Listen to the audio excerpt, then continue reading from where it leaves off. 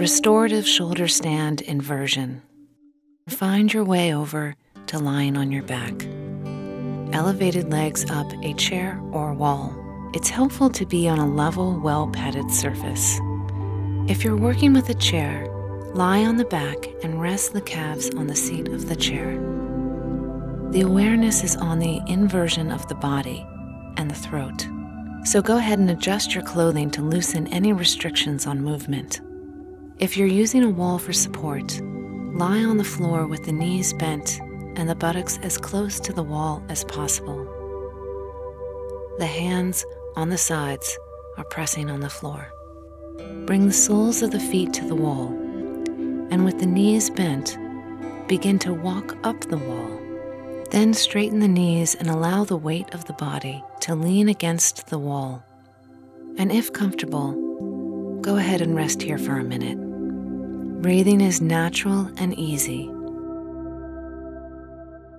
Be aware of any dizziness, lightheadedness, or discomfort. If any pose ever hurts, return to a resting position or modify it to fit your body's needs.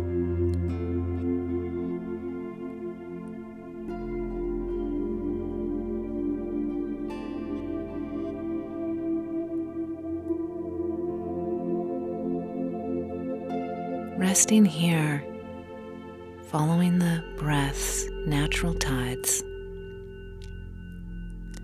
Feeling how this shoulder stand relaxes the heart by allowing the blood to flow with gravity back to the heart.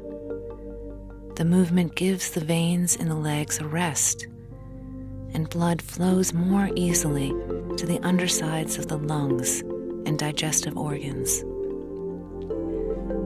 The pose massages shoulder muscles and strengthens lower back muscles. It helps to even drain the lymphatic system, part of our immune system.